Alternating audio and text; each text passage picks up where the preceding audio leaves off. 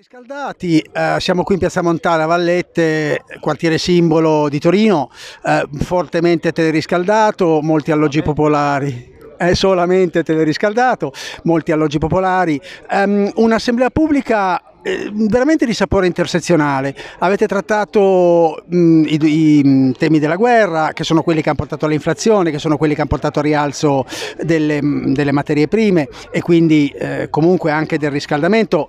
Avete spiegato perché Iren non è eh, all'interno di queste eh, logiche, non dovrebbe esserlo, ma le usa e eh, avete fatto anche un discorso molto interessante sul reddito di cittadinanza. Um, cosa state ottenendo, cosa volete e cosa farete?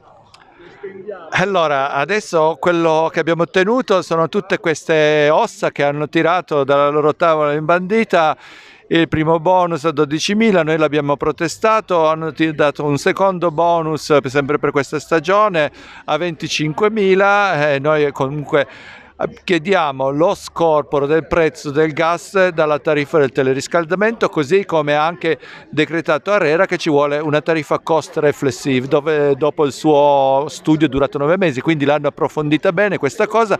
Hanno trovato delle criticità e hanno detto che il teleriscaldamento deve costare per quello che consumano i produttori Iren consuma di gas il 7,44% ma ci fa pagare a noi utenti finali il 100% di questo calore come se fosse prodotto da gas. Non è vero, il gas che usano lo producono per produrre energia elettrica. Il teleriscaldamento è un prodotto di scarto da questa cogenerazione per cui si è deciso con un referendum comunale nel 1980 facciamo questa rete di teleriscaldamento in tutta la città e un futuro pagheremo gratis, sarà quasi gratis il teleriscaldamento, adesso no perché la rete costa. Ma adesso il futuro è oggi e il teleriscaldamento costa più del gas centralizzato condominiale.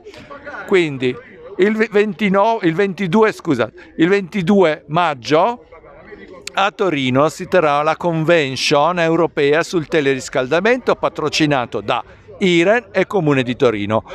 Noi saremo lì a contestarli assieme a tutti gli altri comitati e collettivi e sindacati di base che vorranno unirsi a noi.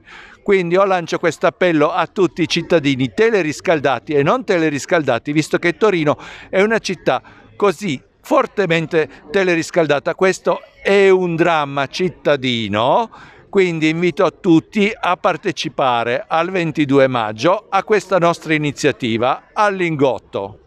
Grazie.